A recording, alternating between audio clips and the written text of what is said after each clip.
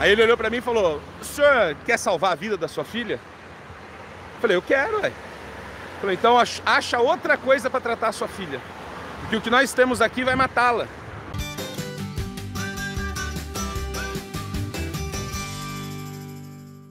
Quando a Julia nasceu, eu tinha 17 anos e ela tinha bronquite asmática, um problema que eu já tive durante a minha infância. Quando eu vi que a Julia tinha o mesmo problema, eu falei assim: caramba, eu vou ter que reviver tudo isso agora cuidando da minha filha. Tudo que meu pai fez por mim, tudo que minha mãe fez por mim.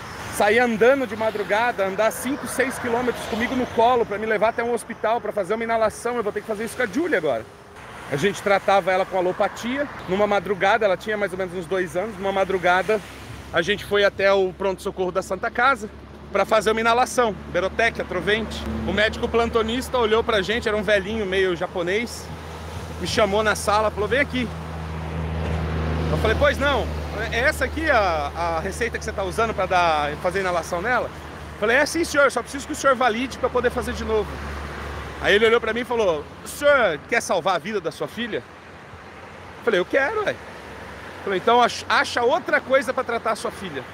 Porque o que nós temos aqui vai matá-la. Eu já vi criança ter parada cardiorrespiratória com dosagem bem menor do que essa aqui. Isso aqui que você está dando para sua filha vai matar ela. Aí a gente ficou desesperado naquele momento. O que, que eu vou fazer agora? Se minha filha tem bronquite asmática, eu não posso dar os broncodilatadores para ela. O que, que eu vou fazer?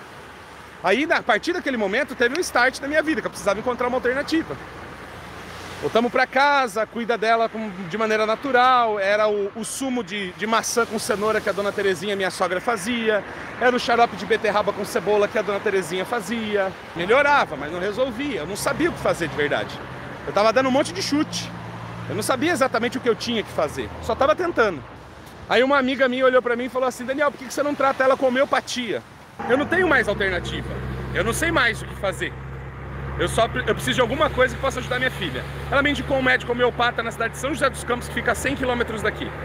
Ele avaliou minha filha, fez anamnese, aí ele propôs um composto, que era para pingar as gotinhas, bate na mão, pinga a gotinha e vai resolver. Falei assim, você não vai resolver nada. Não vai, isso aí é palhaçada. Minha filha já tomou antibiótico, minha filha já tomou anti-inflamatório, broncodilatador, minha filha já fez tudo isso. Ela não vai, não vai resolver o problema dela. Aí a Paula, muito mais sábia do que eu, falou: Não, eu vou fazer esse tratamento. Já vim até aqui, já paguei esse negócio, vou fazer. Aí ela começou a fazer o tratamento. Em três meses a Júlia não tinha mais bronquite asmática. Três meses, ele passou anos arrastando essa menina pro, pro hospital, tomando soro na veia, espetando a menina, tirando sangue, dando broncodilatador, vendo ela quase morta na cama, roxa, sem conseguir respirar. E aí em três meses dando aquela gotinha, a menina não tinha mais nada. E aí eu aí aplicando o que eu aprendia e eu percebi que dava certo. Caramba, olha só, melhorou isso aqui. Nossa, a gripe da Júlia passou só com esse chá. Nossa, esse problema aqui resolveu só com esse chá. Eu só sabia fazer chá naquele momento. Aí eu fiz um vestibular em Caraguatatuba. Sem meu pai saber. Ele não podia saber. Eu fiz um vestibular em Caraguatatuba no final de semana que eu desci para Caraguá. Eu fiz um vestibular e passei na faculdade de biologia. Aí eu olhei para Paulo e falei: é a nossa chance.